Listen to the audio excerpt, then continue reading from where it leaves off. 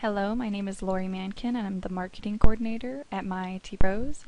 I'm going to show you how to log in to Cloud 7 today. So I opened up a Mozilla Firefox browser. You can use any browser you'd like. I just prefer this one. Just go to the address bar and type in https a colon slash slash mycloud7.com and click enter. Then you're going to go ahead and go to the username section and just type in your email.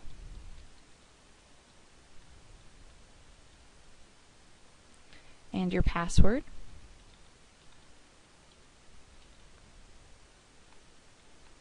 Then click log on.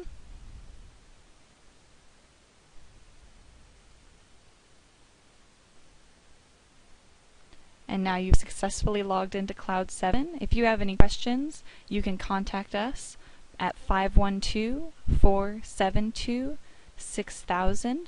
You can also email support at myitpros.com if you would like to submit a ticket with us. And that's how you log into Cloud 7. Thank you.